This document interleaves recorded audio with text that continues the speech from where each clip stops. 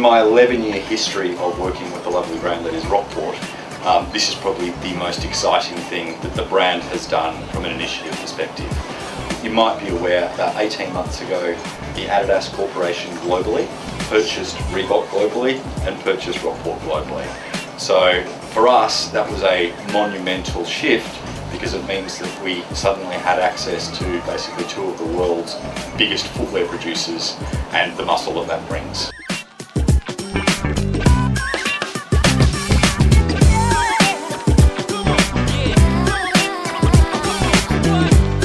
Tell you now with the resources that we now have at our disposal, the long-term ambition for Rockport is to become the dominant leading global brown shoe provider.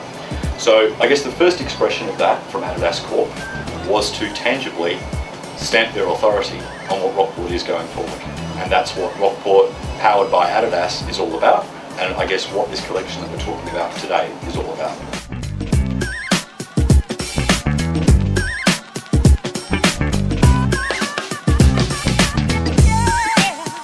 Torsion effectively is, is like this chassis within a car. So it's the platform upon which everything else is built around that provides stability and structural integrity. The chassis is the torsion piece and things like you know, dynamic suspension and cushioning and air soles and whatnot are kind of like the shock absorbers and tyres in a car.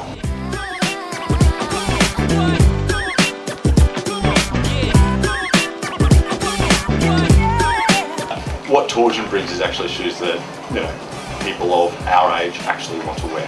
What we're talking about is having modern, contemporary, technical product that looks good.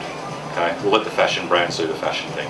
You know, we want to, we, we do design and style with integrity as opposed to fashion for fashion's sake.